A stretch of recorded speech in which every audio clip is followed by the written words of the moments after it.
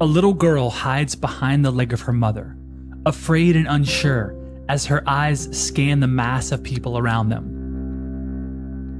She and her family have just fled their home in Ethiopia amid a rising tide of violence and disruption. They are now staying at a camp for displaced persons, along with thousands of others who, like them, can no longer go back to the home they once knew. There is overcrowding, disease, and very little food or water to go around. It's a heartbreaking scene, and sadly, not an unusual story. This little girl's struggles are a drop in the bucket when you take in the larger picture. The world is full of hard problems to solve hunger, homelessness, disease, natural disasters, education inequality. The list goes on and on, and there isn't a single corner of the world that is immune to all of these challenges. The need is overwhelming, but it cannot be ignored. As humans, we are all accountable to each other, but as humans, we are also limited in our capacity to help on a large scale. It's not impossible, though, and certain organizations have found a way to have massive impacts, including UNICEF. The question is how? I think this is what makes UNICEF unique in the humanitarian and development global development sector. You know it's a it's a global organization it has boots on the ground in 190 countries. Each of those countries is led by a country representative who you know sits in the organizational structure but has a lot of autonomy within those countries. But what we're what ties us all together is a, a mission that's focused on, on what we, we talk about child rights the rights of children to live healthy, growing, productive, safe lives. Michael Nyenhuis is the CEO of UNICEF USA. And while he fights every day to fulfill UNICEF's mission, he knows that a mission is not enough. Not when you consider the scale and scope at which UNICEF operates. UNICEF works all over the world on hundreds of projects simultaneously. And all of those projects have specific goals and metrics for success. With more than 10,000 employees and volunteers, steering a ship of that size is a massive undertaking. So, how does UNICEF do it? What X factor can for profit businesses learn from this thriving 75 year old nonprofit? And most importantly, how is that little girl and others like her being helped right now? I'm Jeremy Bergeron, Vice President of Media Strategy at Mission.org. Welcome to Business X Factors. Each week, we'll take a look at the secret sauce that takes companies to the highest levels of success and unpack how they got there. We'll explore how these organizations are run, what's special about the people, culture, and processes that make it all happen.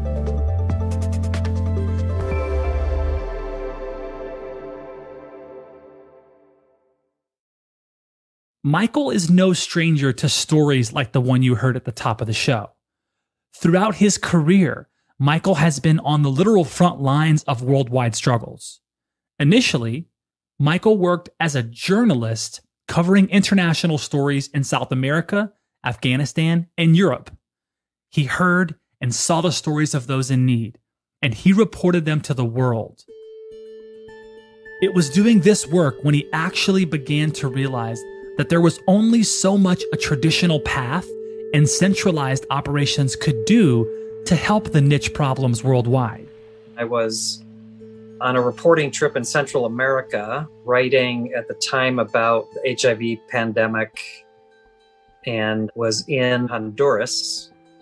And while I was there, through some other connections, I ended up in this small little village, kind of a little squatter, very poor village on a dusty hillside and I was introduced to a nurse whose name was Gloria, a local woman from that village who had grown up there, had gone off to nursing school. And unlike her classmates, who were all, you know, jockeying for positions at the hospitals in the capital city where they would actually earn some kind of living, her whole vision was to go back to her community, to set up a health post, and um, be a change agent in her community. So, along the way, after nursing school, had gone through a community health training program run by a, a US nonprofit. And community health training is basically to deprogram medical people to think about health and not disease. And how do you promote good health, not just treat disease? So she went back to her community. She set up a little health post. I spent half a day with her in her community. You know, 90% of her time was spent out in the community working with mothers, on home environments and nutrition, working with kids on hygiene, and working with farmers on agriculture techniques to grow more nutritious foods. She was a dynamo and really making a difference in that community. And I just looked at her and I said, you know, who are we as outsiders to try to envision what these communities need? She knows. Maybe what we should just do is find people like her and support her in her work. And you know what? I think that's what I want to do for my life for my life going forward. I think I just want to figure out how I can help people like her do her work. Maybe I've been a journalist for 10 years and one of the things about being a journalist is you are an observer, you're not a participant. And um, I think I was to the point where I where I really wanted to be a participant and not just observer. He was ready to take action, and that desire led him into the nonprofit world. He took a job at MAP International, an organization that provides medicines and health supplies to people in need. He began as director of communications, but quickly rose in the organization, becoming CEO of MAP in the year 2000.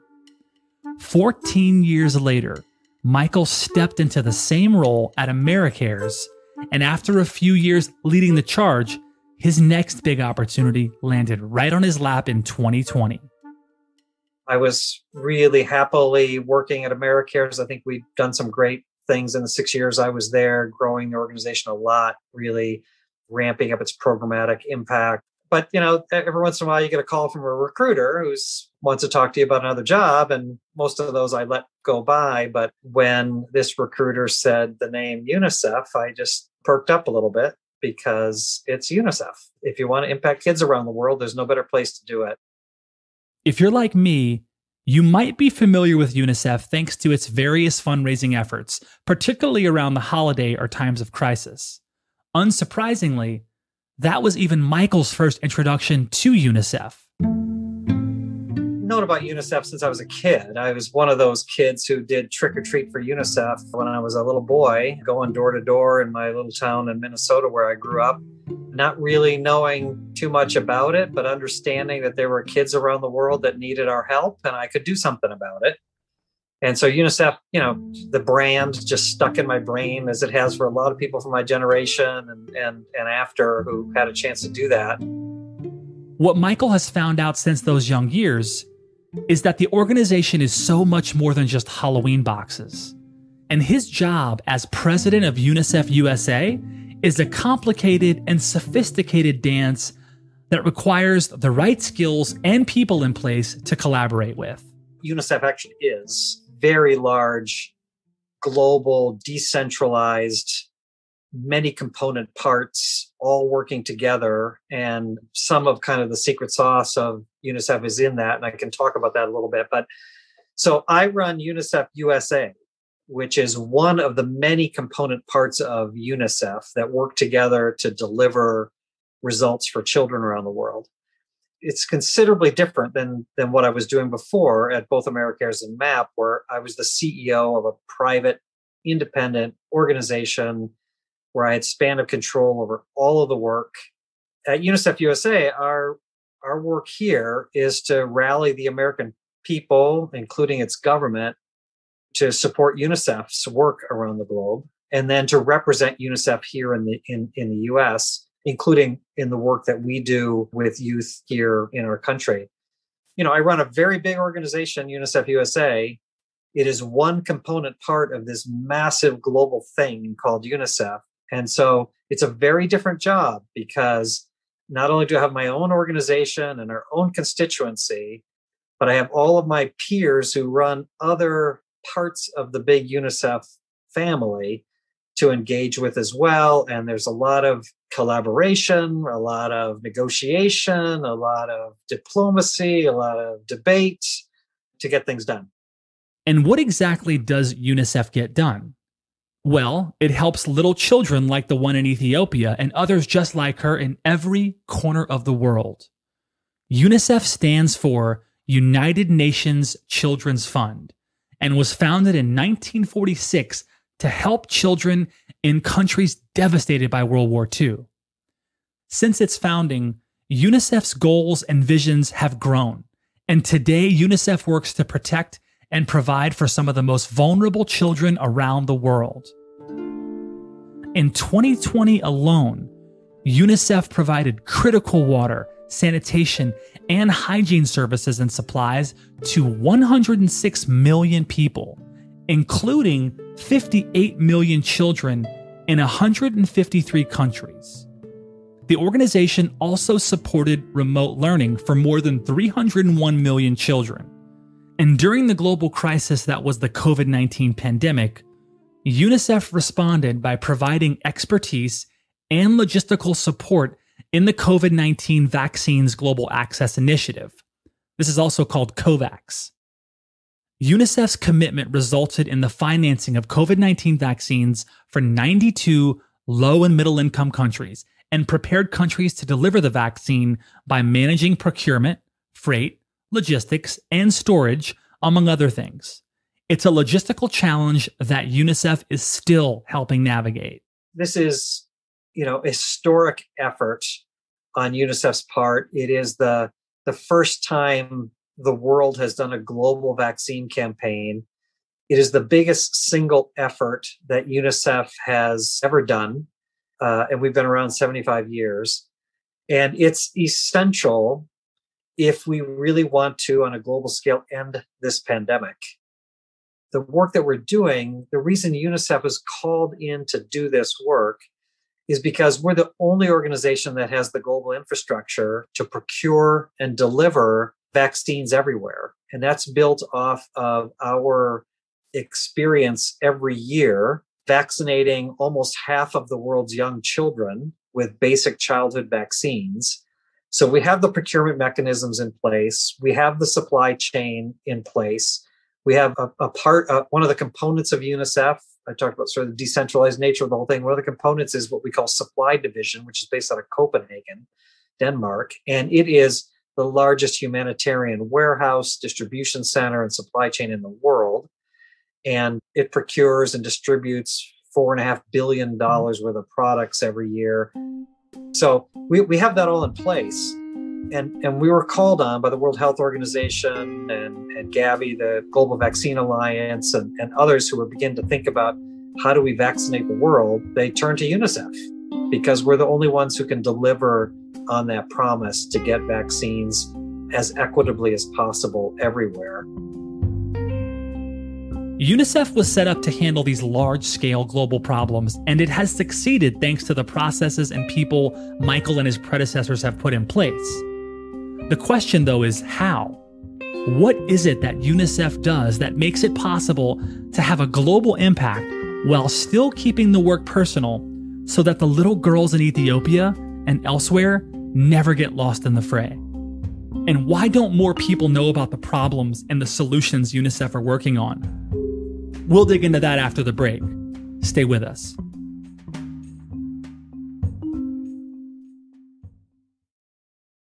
When you look at all of the incredible work UNICEF has done and is currently working on, you can't help but be impressed. And from the start, the reason UNICEF has been able to succeed is thanks to a decentralized approach to the work it does. UNICEF was embracing the decentralization of things long before it became the trendy topic it is today. It's only in recent years that cryptocurrencies, blockchain, smart contracts, and open source technology have led to the decentralization of industries like finance, cloud storage, and even marketing and advertising. But when we look back at history, decentralization of organizations and efforts have been a key approach for thousands of years.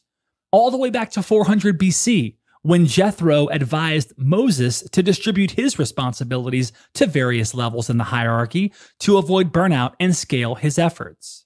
So let's talk about that decentralized piece. I think that's interesting. Um, how is UNICEF USA, how is UNICEF at, at large able to be so impactful and a measured approach to that? And you can literally see a lot of the things that are being done. And it's this, like you said, it's a massive decentralized you know component this company how do you do that? Yeah. Well okay so the, the most important because uh, so maybe two really critical pieces of it and i think this is what makes unicef unique in the humanitarian and develop and global development sector. You know it's a it's a global organization it has boots on the ground in 190 countries. Each of those countries is led by a country representative who you know sits in the organizational structure but has a lot of autonomy within those countries. But what we're what ties us all together is a, a mission that's focused on, on, what we, we talk about child rights the rights of children to live uh, healthy growing productive safe lives. And all of that is anchored in in a document called the Convention on the Rights of the Child, which the UN approved and governments across the country. It's it's the or across the world. It's the largest. It's it's the most widely ratified human uh, human rights treaty in the world. Convention on the Rights of the Child, and it is a foundational document that we all look to to drive our work. So we are this big decentralized thing all of us deeply committed to this foundational idea of child rights and of the principles of the Convention on the Rights of the Child. And so it holds us all together so we don't spin off in, in odd directions or whatnot. So, so that's sort of the big global piece that holds us all together. But the implementation of what we do is incredibly local, incredibly local. And you know the, the country offices that deliver the programs to kids and low and middle income countries are, you know, again, they have a lot of autonomy, but underneath that idea of child rights and, and, the, and the basic framework of UNICEF programming. And they work, eh, you know, very locally with a local health center, with a local school, with a local nonprofit or local NGO that's delivering services. And, and UNICEF helps them carry out those services better with governments, national and local governments. It's a very local expression of this. And so you know we hear a lot about you know think uh, global act local is kind of a you know a little bit of a cliche phrase these days. Unicef effectively for 75 years has done this really really well to have a global mindset and a global structure that allows for very local expression uh, of the work. And i do think that's our secret sauce. That is our x factor if you will that that we've figured out how to do that and have sustained it over 75 years. Everything UNICEF does is decentralized because it has to be. The needs of that little girl in Ethiopia are different than the needs of the community in Ghana. And the regulations and government entities in each of those cases mean that there is no way that UNICEF could have a centralized system or process. Instead, UNICEF gives autonomy to all the people that work to fulfill the mission stated in the Convention on the Rights of the Child. There are local people who know how to make a difference. And how do we help them do that? And in UNICEF's case, a lot of those local people are UNICEF staffers who are in those communities getting things done. Being able to operate in an agile way that can quickly adapt to market needs is a crucial component to the work that UNICEF supports. And the organizational structure allows for just this. As the saying goes, think globally, act locally. UNICEF works all over the world. It means you it means you have to partner with different governments, work within different social structures and understand different cultures and the needs of all those different kinds of people. How does UNICEF make all of these connections in the first place? How do you juggle all the various interest groups in order to deliver the aid and create the change that you're making right now and have been for such a long time? Uh, every place that UNICEF works, UNICEF is there by the invitation of the of the of the government of the national government there. So comes built in with those connections, which are really important to make things happen. And as I said, sort of the local expression of UNICEF in every one of those countries definitely has the UNICEF imprint on it, but the work may lean one way or the other based on the needs in that country, the desires of the government in that country.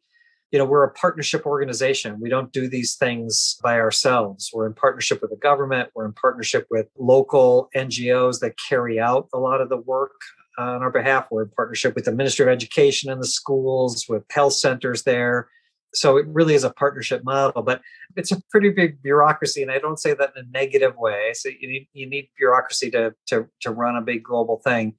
And there are you know lots of channels of communication back and forth built between the program offices in a country and the the headquarters of unicef in new york and geneva and organizations like ours that are supporting all of that uh, in fact, I, I, would say that there's so much communication; it's sometimes paralyzing. so this is one of the this is one of the other you know parts of it. You have to figure out what you need to carry out your work. The idea of partnership also spills into the fact that UNICEF is a nonprofit organization, which means it relies on donors to fund its work around the globe. UNICEF is uh, funded through voluntary contributions from governments and from the private sector, meaning foundations, corporations, individual philanthropists, you know, uh, regular donors, uh, individual donors. And so we have to prove our worth to all of them every day. You know, there's no handouts for us. UNICEF itself is a UN agency, United Nations agency, but doesn't get any money from the UN it has to go seek the money in donation from governments and from the private sector. And therefore, we have to, you know, we're held accountable to deliver results or they don't give us the money to do the work. We take very seriously the establishment of goals, metrics, indicators, monitoring and evaluation.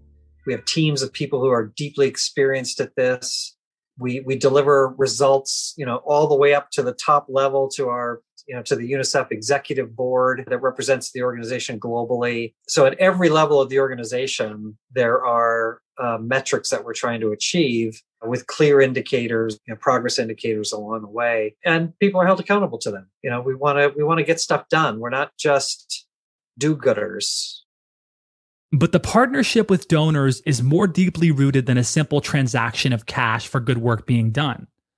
Michael explains that it's through working closely with donors that the magic of UNICEF can actually be brought to life. I'll, give you an example how some of these partnerships sort of weave together. We had a, a donor here in the US who was really taken by the plight of, of homeless kids in India and wanted to do a project in India and sort of envisioned herself what that project might be and was willing to put a lot of money out to make it happen. Obviously, wanted to engage with her, but didn't think she had quite the exact experience base to know exactly how that project should run. So we opened the dialogue with our colleagues in India, the UNICEF India office and their education team there about how to how to work this. They're informed by the Indian government's uh, priorities in the country of India and and sort of together with influence from the Indian Ministry of Education, with the technical expertise of the India Office education staff, with this donor and her resources and ideas, with our experience pulling together all those pieces to make things happen, you know, we put together a really tremendous project there that wouldn't have happened without all of those people coming together around the same table to say, how do we have the biggest impact possible? And how do we bring the expertise from all of those pieces together? And sometimes that's more complicated and takes a little bit longer than somebody who just has a great idea and wants to go do it.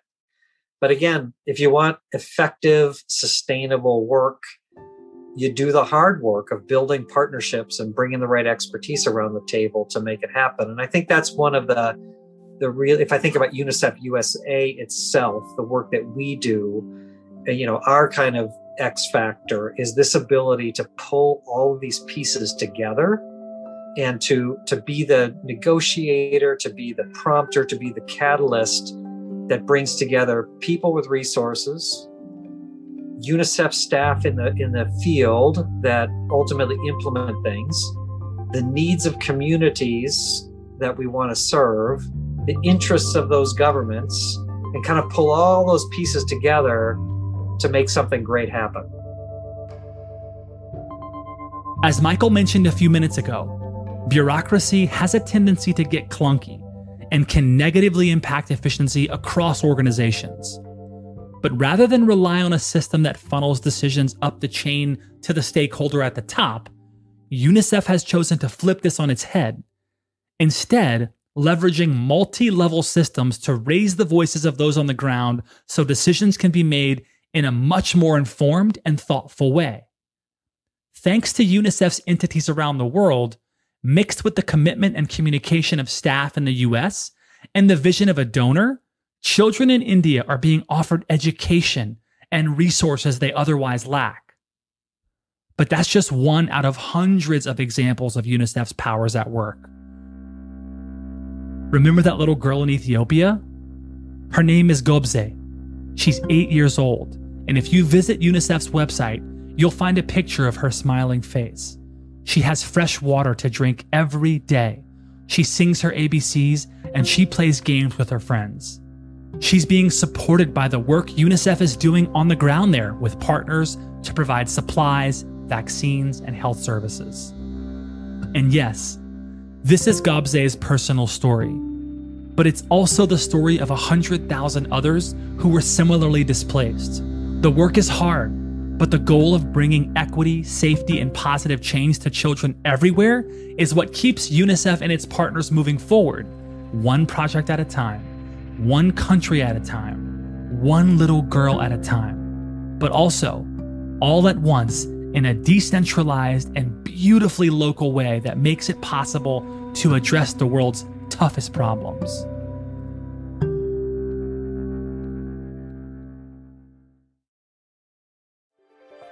You've been listening to Business X Factors, created by Mission.org and brought to you by Hyland. If you like this show, please be sure to subscribe or follow on your favorite podcast app. We'd also be so grateful if you rated and reviewed us on Apple Podcast, as this helps ensure that more amazing listeners like you find this show. Thanks for listening. I'm Jeremy Bergeron, Vice President of Media Strategy at Mission.org and I'll catch you next time on Business X Factors.